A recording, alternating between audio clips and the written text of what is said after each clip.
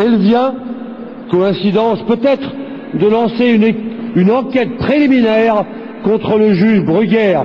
C'est pour cela une victoire contre la complaisance. Je voudrais maintenant que nous pensions à vos amis et à nos amis d'Ashraf.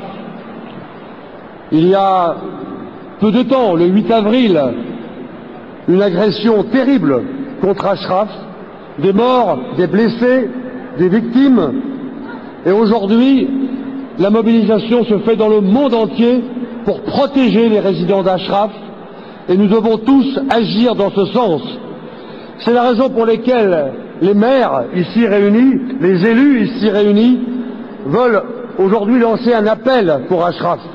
Lancer un appel pour que les soins urgents d'abord soient livrés pour ceux encore qui sont blessés et maltraités.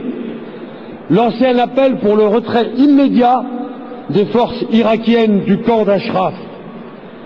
Lancer un appel pour que, plus généralement, la protection de cette ville d'Ashraf soit assurée par les forces de l'ONU et des États-Unis.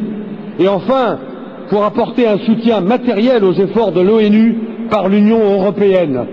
Ce combat est pour nous très important. Nous sommes mobilisés pour ce combat.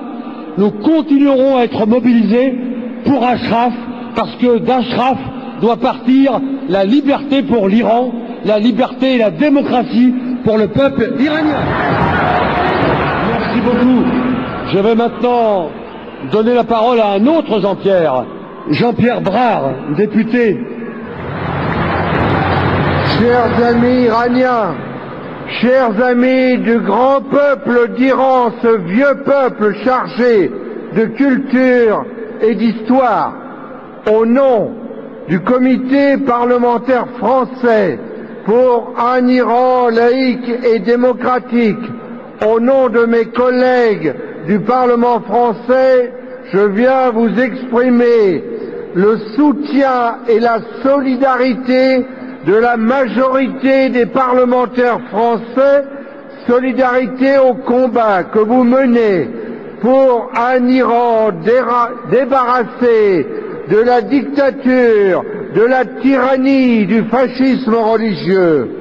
Nous, notre devoir à nous, parlementaires français, est de relayer ce combat que mène le peuple iranien pour sa liberté. Nous, députés de gauche comme de droite, faisons avec vous, avec Maria Rajavi et pour l'Iran, le pari de la démocratie et de la laïcité.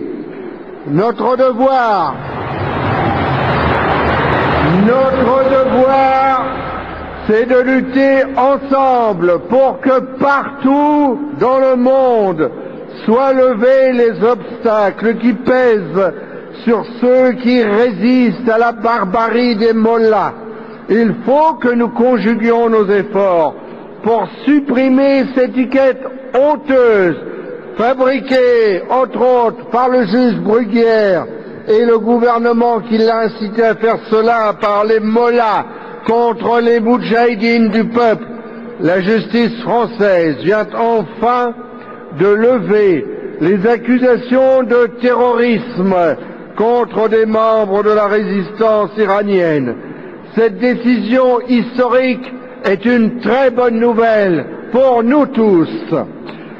Elle confirme que les actions armées menées par l'organisation des Moudjahidines du peuple sont l'expression d'un droit imprescriptible garanti par la Déclaration des droits de l'homme et du citoyen. La décision des juges reconnaît le droit à la résistance face à l'oppression.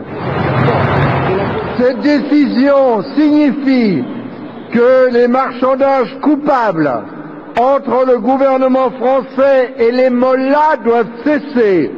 La liberté du peuple héroïque d'Iran ne doit pas être sacrifiée sur l'autel des grands groupes français comme Total. Le gouvernement français doit cesser de fermer les yeux sur les crimes des mollahs. L'expérience des conflits en Europe nous a montré